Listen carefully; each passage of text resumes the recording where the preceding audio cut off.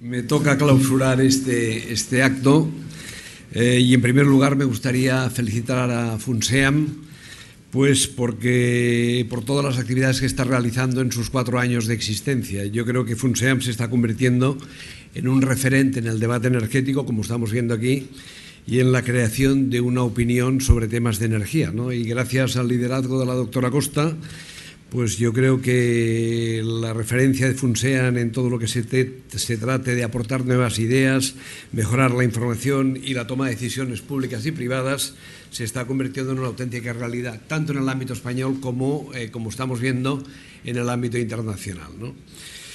Eh, y un claro ejemplo de ello es la organización de este simposio empresarial que bajo el título El sector energético frente a los retos del 2030 pues enfrenta temas tan interesantes, tan atractivos como la reflexión de qué le está pasando al sector energético después de la COP21, después de París, qué le están pasando a las empresas energéticas, a las empresas que participan en el sector energético en temas sobre sostenibilidad, en temas sobre orientación a cómo enfocar la gestión y cómo buscar un compromiso con la eficiencia y con la reducción de emisiones. Eh, y por tanto yo creo que estos son, temas de los cuales nos tenemos que felicitar. También hoy se ha tocado un tema enormemente interesante que yo creo que es importantísimo, que es la innovación tecnológica como la principal ruta para abordar estos retos. ¿no? Eh, es evidente que la necesidad de diseñar un nuevo modelo energético debe incluir fórmulas para atender las nuevas demandas de la energía de unos consumidores que cada vez son más exigentes, no solo en términos de competitividad, calidad, seguridad de suministro, sino a su vez también de la sostenibilidad que representa el consumo de esta energía. Eh, y por último también se ha hablado de América Latina. América Latina está muy próxima a nosotros y por tanto pues todo lo que les afecta a ellos nos afecta a nosotros y creo que viceversa. Por tanto, eh, felicitarles por el programa que me parece que ha sido muy, completo, muy estructurado y que seguro que les habrá resultado interesantes. interesantes. Sin embargo, creo que, y me gustaría aprovechar esta ocasión, puesto que a lo largo del día de hoy eh, he oído muchas eh, consideraciones, algunas consideraciones a las cuales me gustaría debatir y expresarles mi punto de vista. ¿no?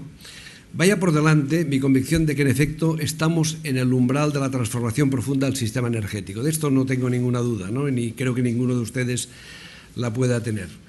Y, a ello, y ello nos obliga a desafíos insoslayables que hacer para hacer frente al cambio, al cambio climático, pero también y al mismo tiempo proporcionar energía moderna y segura a la inmensa porción de la humanidad que aún no cuenta con ella y atender la demanda de energía necesaria para hacer posible la legítima aspiración de prosperidad de la sociedad global, igual que la tuvo el mundo avanzado hoy.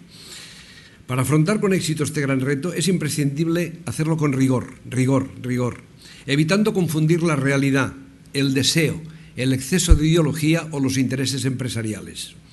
Normalmente, en materias tan complejas como el sistema energético, el wishful thinking o los intereses particulares son graves errores para afrontar la solución de los problemas. Los hechos son muy tozudos. Todos los modelos y proyecciones muestran que la expansión demográfica y el crecimiento acelerado en las clases medias en los países emergentes, particularmente en Asia, van a seguir teniendo asociado un fuerte crecimiento del consumo energético. De forma especial, ese consumo va a estar asociado a la demanda de movilidad y, como es sabido, el transporte es la actividad en la que resulta más importante contar con un recurso energético de alta densidad, por lo cual será difícil, aunque a algunos les podría interesar, sustituir a los productos petrolíferos por otros productos de menor calidad calorífica. Es muy fácil de entender que los casi 70 millones de vehículos que en el 2016 van a salir a las calles y carreteras del planeta seguirán consumiendo gasolina y diésel durante muchos años.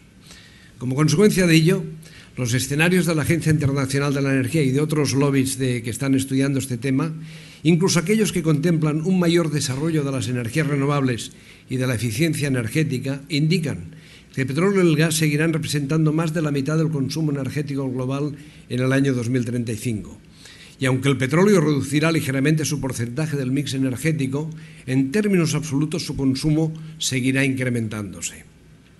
Por todo ello, ni es útil ni se corresponde con la realidad considerar que la industria de los hidrocarburos pertenece a un sistema energético en vías de extinción. Al contrario, la industria de los hidrocarburos seguirá estando durante décadas en la espina dorsal de la atención a las necesidades de la energía del planeta.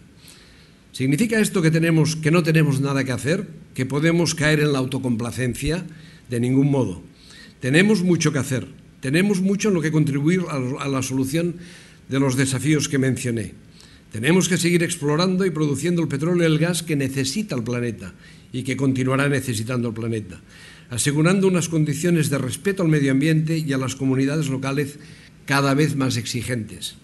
Tenemos que seguir mejorando la eficiencia y reduciendo las emisiones de CO2, de CO2 del sistema de refino, poniendo productos en el mercado con un perfil de sostenibilidad cada vez mejor.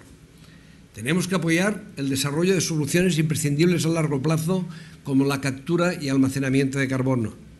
Tenemos que implicarnos en la plena viabilidad masiva de energías renovables cercanas a nuestro expertise y capacidades, no aquellas que nos gustaría, pero que las tenemos muy lejos todavía. Y tenemos que contribuir a poner en marcha tecnologías y modelos de negocio viable para la movilidad eléctrica. No pretendo, obviamente, ser exhaustivo ahora. Tan solo quiero dejar ante ustedes mi convicción de que el nuevo modelo energético se está construyendo ya sobre el actual y que pretender hacerlo sin integrar cabalmente todas las dimensiones del problema y a todos los actores que están, estamos trabajando ya para aportar nuestra porción de la solución es sencillamente reducir las, probabilidades de éxito a nada. Y eso es algo que ni el planeta ni ninguno de nosotros nos podemos permitir. Centrando el análisis en nuestro entorno más inmediato, el europeo, la aportación de todos los actores del sector energético tiene que responder a un objetivo irrenunciable, promover la inversión y el crecimiento, como forma de asegurar la creación de empleo y el bienestar del conjunto de la sociedad. De este objetivo derivan las siguientes grandes prioridades. Hacer que la lucha contra el cambio climático y el crecimiento y la competitividad se refuercen mutuamente. Entender que el coste de la energía es esencial para la competitividad. Priorizar la eficiencia energética. Dar predictibilidad al entorno regulatorio para favorecer las inversiones, la tecnología y la innovación.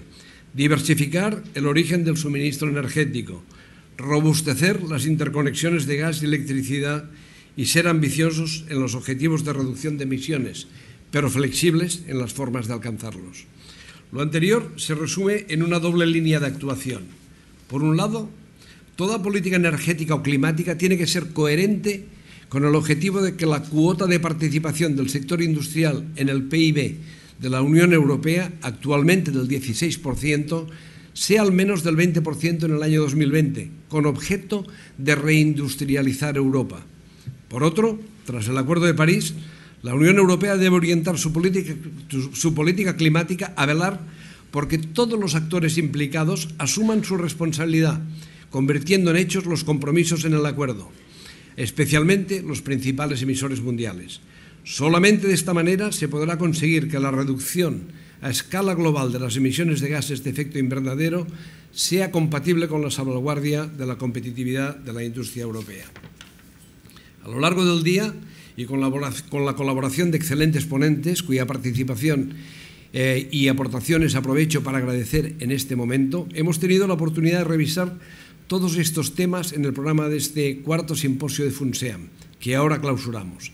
En la coyuntura actual, finalizada hace muy pocas semanas la COP21 de París y con el debate sobre el cambio climático ya consolidado en el seno de la sociedad, esperamos que esta jornada haya alcanzado su objetivo, compartir los retos 2030 a los que se enfrenta el sector energético y las oportunidades que la innovación tecnológica y la eficiencia energética ofrecen para alcanzarlos con garantías de sostenibilidad. En relación con Latinoamérica, un caso emblemático es la reforma energética mexicana, que comenzó con la eliminación de las restricciones constitucionales a la inversión privada a finales del año 2013 y que ha venido tomando forma desde entonces. En el 2014 se aprobó la legislación secundaria derivada de la reforma para iniciar ya el año pasado la implantación o implementación de la mayor parte de su regulación correspondiente. En el sector de los hidrocarburos ya se han realizado varias rondas abiertas de exploración y producción y en el mercado eléctrico mayorista será este año 2016 cuando se realizarán las primeras subastas eléctricas para adquirir certificados de energía limpia, energía eléctrica y capacidad. Y para explicar este proceso tan complejo y concluir este acto, nadie mejor que Francisco Salazar, quien ha sido uno de los arquitectos y diseñadores de esta reforma y que por cuarto año consecutivo nos acompaña en este simposio y a, quien agradecemos su presencia. Francisco es presidente del capítulo mexicano del Consejo Mundial de la Energía desde el pasado año y ha sido presidente de la Comisión Reguladora de Energía de México desde el año 2005 hasta el 2015 y desde el año 2012 al 2015 presidente de la Asociación Iberoamericana de Entidades Reguladores de la Energía. Es graduado en Ingeniería Química por la Universidad Autónoma de San Luis de Potosí, máster en Economía en la especialidad de Finanzas Públicas y diplomado en Economía en Mercados Globales, ambos por la London School of Economics. Es además diplomado en Derecho Parlamentario por la Universidad Iberoamericana. Trabajó igualmente en la industria química y fue profesor de Finanzas Públicas en la Universidad de San Luis de Potosí, de Teoría Monetaria en la Universidad de Champagnat y Fellow en las universidades de San Diego y Calgary. Ha escrito diversos artículos y es coautor de varios libros en materia de regulación y medio ambiente. Francisco, tienes la palabra.